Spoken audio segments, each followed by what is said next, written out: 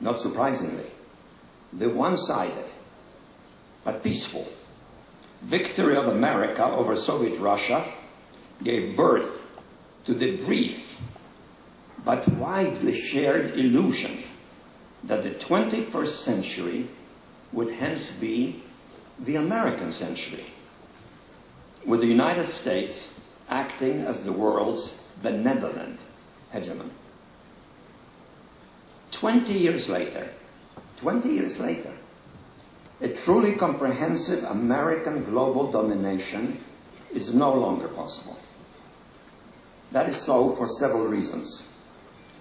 In recent decades, worldwide social change has experienced unprecedented historical acceleration, particularly because instant mass communications, such as radio, television, and the internet, cumulatively have been stimulating a universal awakening of mass political consciousness.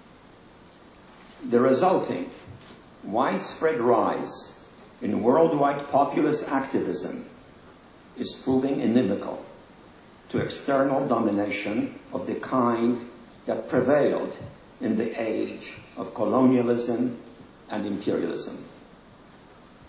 Persistent and highly motivated populist resistance of politically awakened and historically resentful peoples to external control has proven to be increasingly difficult to suppress as protracted guerrilla warfares in Vietnam, Algeria, or Afghanistan have amply demonstrated, and as the rising turmoil in both the Middle East and Southwest Asia are foreshadowing. At the same time, the acquisition by the major powers of weaponry of increasingly destructive capabilities has made the notion of victory in a nuclear war among them prohibitively costly. That has prompted a degree of self-restraint that was absent in the pre-atomic age age in relations among major powers. Last but not least, the ongoing shift in the center of gravity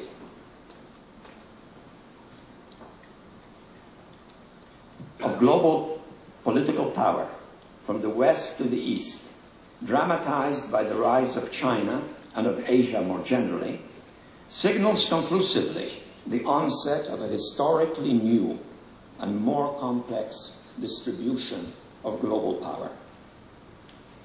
In that much more complex historical and geopolitical setting, democratic America admittedly is still the world's most powerful, the richest, and the most influential state.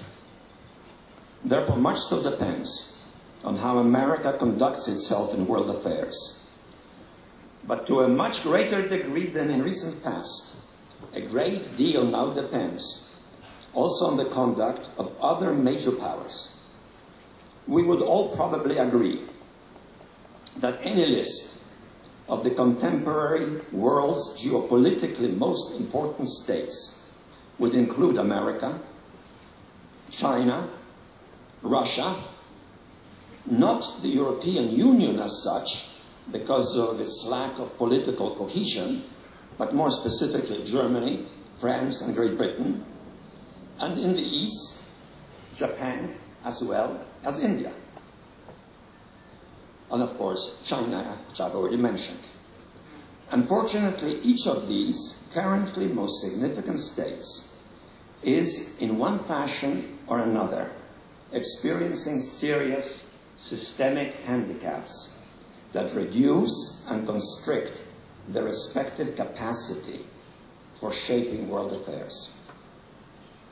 To be more specific, today's American political system is increasingly gridlocked and unable to address effectively the country's serious domestic, economic, financial problems, especially those that are generating growing social inequality. At the same time, America's global legitimacy has been damaged in recent years by its, in, by its unilateral reliance on military power, especially in the Middle East, while its infrastructural renewal has been burdened by the high financial costs of prolonged local wars. In the near future, America's global influence could be further jeopardized by the likely consequences of any war with Iran.